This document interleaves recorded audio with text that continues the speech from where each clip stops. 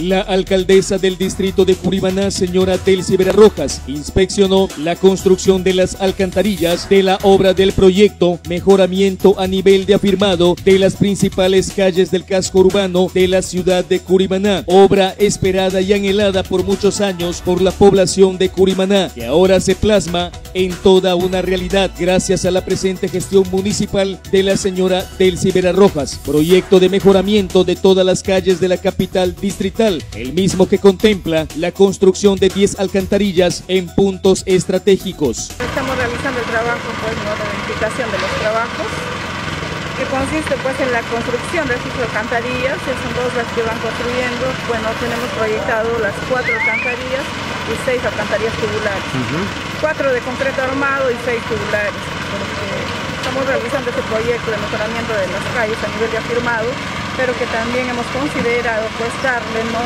la mejora con la construcción de estas alcantarillas. Ya tendremos calles mejoradas con bueno, de estos caños naturales que están acá, este, se están también considerando la limpieza de los caños naturales. Eh, bueno, en estos espacios tenemos la construcción de alcantarillas y darle pues lo que la población necesita es tener buenas calles y los transportistas de igual manera para transitar normalmente por estas calles de Quirino. A 130 cuadras que vamos a, dentro de los pocos días ya podemos estar percibiendo ya pues un cambio en la mejora ya de la transitabilidad, tanto de, los peatones y así también de los transportistas en nuestro distrito. Toda la razón, ¿no? Si tenemos el material bueno acá en la zona, no es justo, ¿no? Que la población tenga que sufrir tanto ni siquiera las calles tenerlas enriqueadas, ¿no? Esa cuestión pues se ha preocupado de darle la razón y poder demostrar que todo es posible. Tenemos el material acá, la materia prima y solamente falta decisión, ¿no?